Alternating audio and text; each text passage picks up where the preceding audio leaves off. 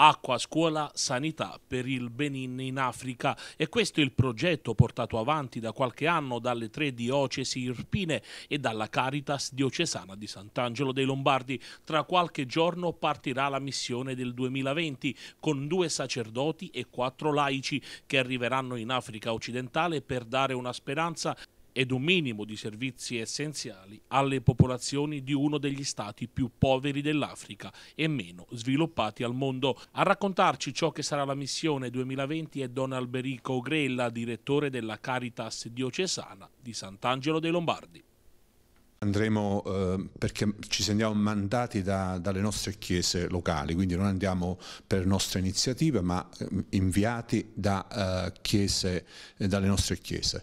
Eh, che cosa faremo? Abbiamo, andremo a inaugurare il panificio solidale che abbiamo eh, costruito come diocesi di Sant'Angelo dei Lombardi eh, e in più realizzeremo eh, altre, altre, opere. Eh, fino adesso abbiamo realizzato già 12 pozzi, abbiamo in programma altri tre pozzi da realizzare, abbiamo realizzato una scuola, abbiamo in programma di eh, inaugurare eh, un'altra scuola che ci è stata offerta da un, da un nostro amico benefattore eh, abbiamo intenzione di inaugurare una chiesa, altre iniziative praticamente eh, sempre per eh, il, il, bene di quella, di quella gente. C'è grande festa quando arriviamo da loro, soprattutto i ragazzini, i bambini eh, si, si, radunano immediatamente appena vedono la nostra macchina eh, e ci fanno festa, eh, attendendosi quel poco di, quel poco di attenzione che riusciamo a dare loro.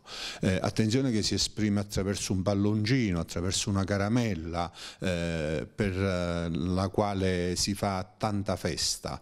Eh, veramente educati a, ad avere poco ad avere quasi niente, però quel poco che eh, riescono ad avere, quel poco che riescono eh, ad ottenere, eh, lo accolgono sempre con tanta gioia e sotto questo aspetto penso che eh, forse noi dobbiamo imparare, imparare molto da loro.